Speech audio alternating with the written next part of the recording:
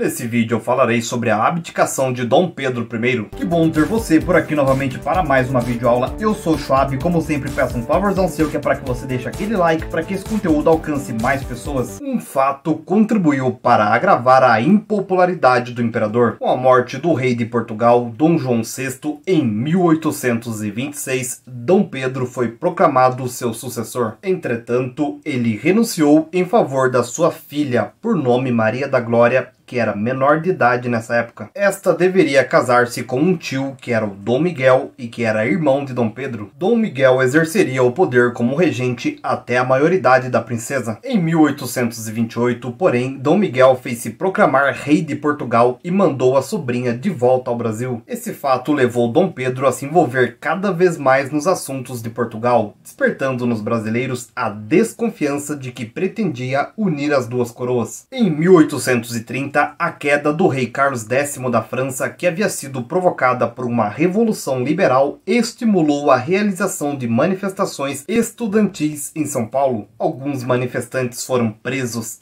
Imediatamente, o jornal paulistano O Observador Constitucional deu início a uma campanha por sua libertação. Em novembro de 1830, o assassinato do redator do jornal, que era o Líbero Badaró, desencadeou uma onda de protestos em diversas regiões do país. Em dezembro, Dom Pedro I viajou para Minas, onde foi recebido por manifestantes que homenagearam o jornalista morto. A crise atingiu o auge na noite de 11 de março de 1831, quando comerciantes portugueses organizaram no Rio de Janeiro uma recepção festiva para Dom Pedro, que voltava de Minas. Em resposta, grupos de brasileiros saíram às ruas, entoando vivas a Constituição e a independência. O choque tornou-se inevitável.